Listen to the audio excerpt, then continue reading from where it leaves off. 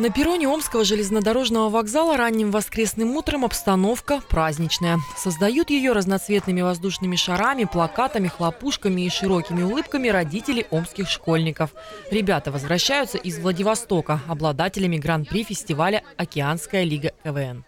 Мы все за них переживали, держали кулачки и были очень рады, когда нам сообщили, что мы взяли гран-при. Ура!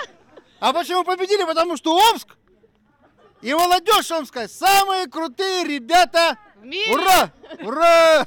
Этот успех омских школьников первый в истории. Начинающие юмористы из команды «Родина-мать» рассмешили зрителей и жюри конкурса. Да вы посмотрите, какие мы все оригинальные! Ага, белые рубашки, красные бабочки. Очень оригинально. Какая сатира! И помимо гран-при победили еще в номинациях «Лучшая шутка». В общем, мы хотели, чтобы все дети в лагере заплакали.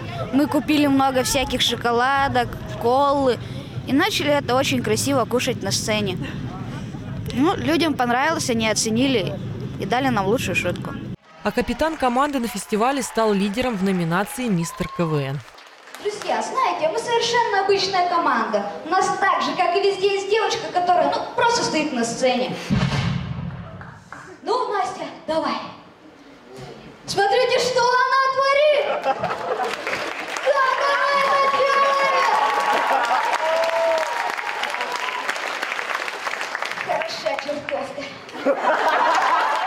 Так что с таким количеством наград из 21 школьной сборной с Урала, Сибири и Дальнего Востока омская дружина с ее сибирским юмором уж точно запомнится своими искрометными шутками. Так, ну что, победа?